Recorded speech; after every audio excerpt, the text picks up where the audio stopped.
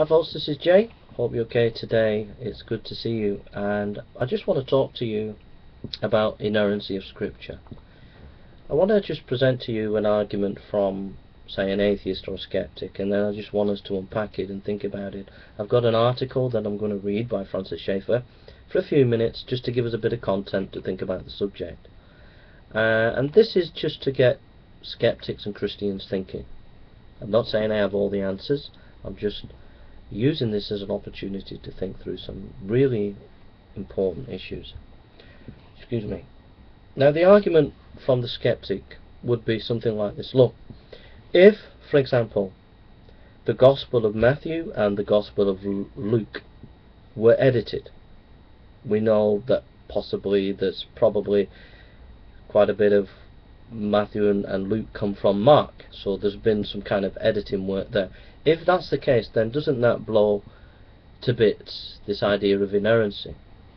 That all scripture is inspired of God, that is correct, and, and that has no faults uh, in it concerning scientific, moral, or literary uh, issues. And uh, that's a good, really, really good question. Now I'm going to read uh, The Great Evangelical Disaster by Francis A. Schaeffer, Chapter 2, A Watershed.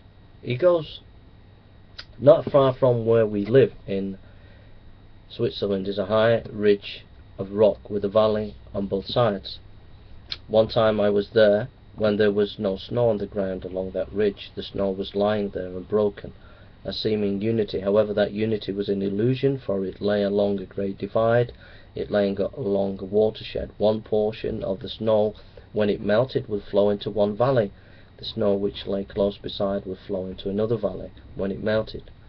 Now it just so happened on that particular ridge that the melting snow which flows from one side of that ridge goes down into a valley, into a small river and then down into a Rhine river. The Rhine then flows on through Germany and the water ends up in the cold water of the North Sea the water from the snow that started out so close along that watershed on the other side of the ridge, when the snow melts, drops off sharply down the ridge into the Rhone Valley.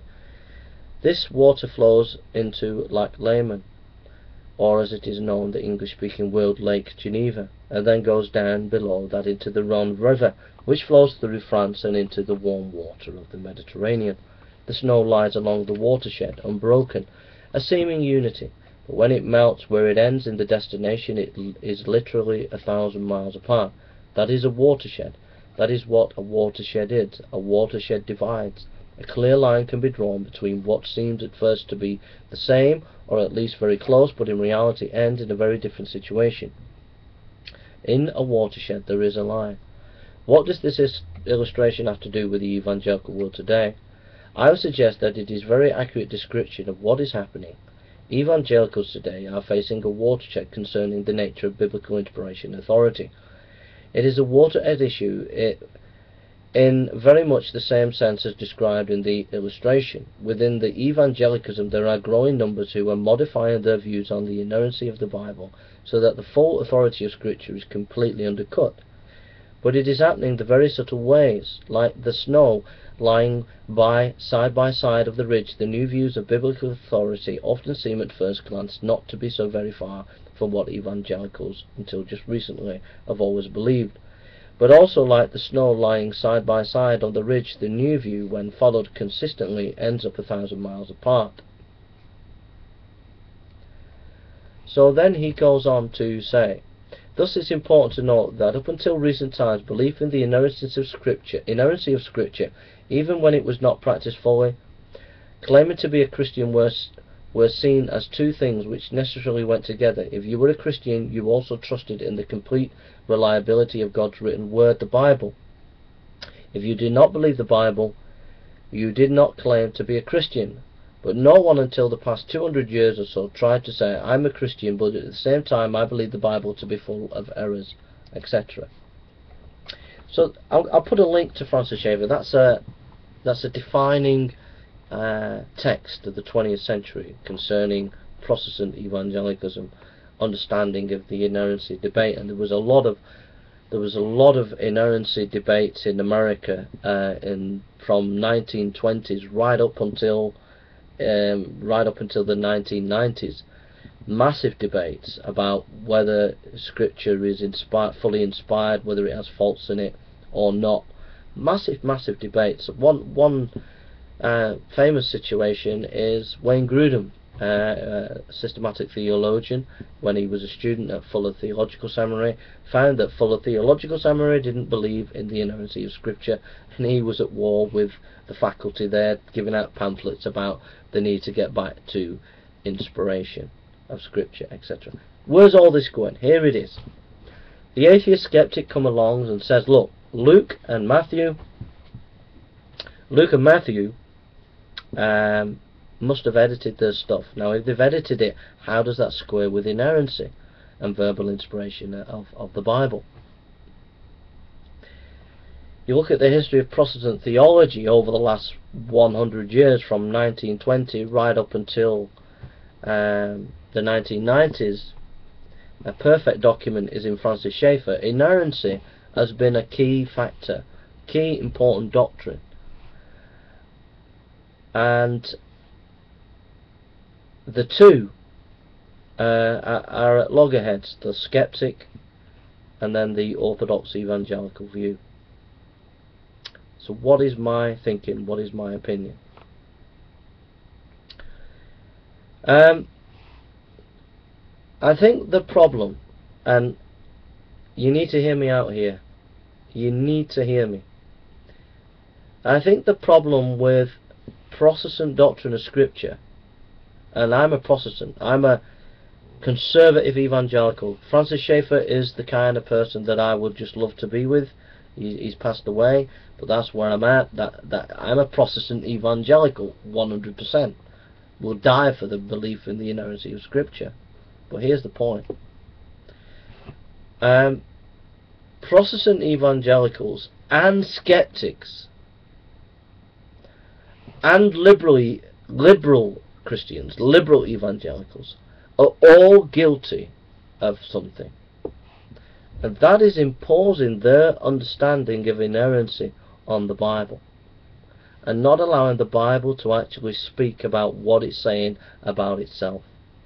So all I'm saying is, I believe in the inerrancy of Scripture, but as the Scriptures define itself, and that many Protestant evangelicals and liberals and skeptics are defining what inerrancy is according to their 19th or 20th century or 21st century intellectual tools and imposing them upon the biblical text and then get themselves in all sorts of problems, intellectually speaking, from a skeptic and an Orthodox Christian position. So, for example, um, an example is the Gospels. Protestant theology has, has maintained that history is important, which I believe. I totally believe that, 100%. Um, skeptics have taken on board the 19th century understanding of history and chronology and facts of history are important, etc. So both Protestant and skeptical way of understanding history have these kind of intellectual tools that they've inherited from von Ranke and and the whole 19th century understanding of, of history, okay? And they bring those intellectual tools to understanding the Gospels. And then they find that the Gospels don't fit their intellectual tools so the Gospels must be wrong. Without actually bothering to ask the question, what are the nature of the Gospels? What is the nature of the Gospels? So let us look here, Luke chapter 1. Inasmuch as many have taken in hand to set in order a narrative of those things which have been fully filled, fulfilled among us, just as those who from the beginning were eyewitnesses and ministers of the word delivered them to us. It seemed good to me also, having had perfect understanding of all things, from the very first, to write to you an orderly account, most excellent Theophilus, that you may know the certainty of those things which you were instructed. So there, in this gospel, Luke is, is giving us an orderly account. Now the question is, what does he mean by orderly account? What does he mean? He's presenting us with some historical information, but he's also representing the Lord Jesus' teaching in various blocks. in various um, thematic themes. And if we don't get that, then we're going to come a cropper if we come with our 19th century understanding of history.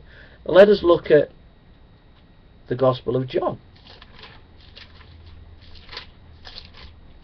It says, In the beginning, verse 1, was the Word, and the Word was with God, and the Word was God. He was in the beginning with God. All things were made through him, and without him nothing was made.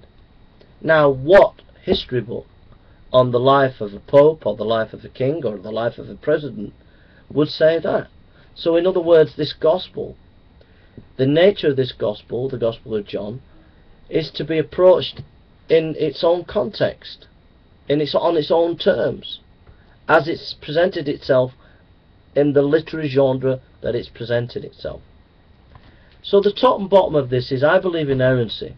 I believe in the full inspiration of the Word of God. I believe there are no faults in the Word of God, whether it be historical or whatever. And I believe every word of the of God is inspired in the original Greek and Hebrew. Okay, I believe that. But I want the Bible to speak for itself about how what is the nature of that inerrancy. And I feel that Protestant theology, of which I belong to, can come along with a mechanical understanding of how to read the text, using 19th century and 20th century intellectual tools and imposing them on the text. And I believe also the skeptics come along and they do the same. They use intellectual to tools about history, for example, from the 19th century and the 20th century, and they impose it on the text, and then they get themselves into intellectual problems. My argument is this, I believe in inerrancy, but let the scriptures define what that means in the each individual context of the literary genre that you're studying. Uh, so I don't agree with the modern liberals, I don't agree with people like Biologos, I don't agree with these sophisticated intellectual biblical scholars, I don't agree with those who critique the Bible, I don't agree with the skeptics. What I believe is go back to the scriptures themselves and let the scriptures define what they are trying to say about themselves. In other words, the Reformation cry back to the sources.